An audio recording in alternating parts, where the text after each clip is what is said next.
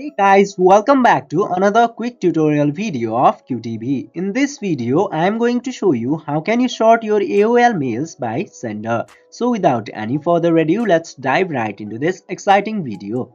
In order to do that, you just simply have to open your AOL mail into any of your browsers. I'm using this Chrome shortcut into here. Now after opening the AOL mails into your browser, you just simply have to go into any of the folders where you have your AOL mails. And after going into there, you will get this short button into the right side.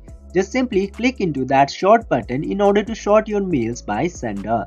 Now after coming into here, you will get so many options into here you just simply have to select this sender and now your emails will successfully be sorted as the sender into AOL. I hope this video was helpful for you. If yes, don't forget to like, share and subscribe to the channel to never miss another future update from the channel. Thank you for watching the video.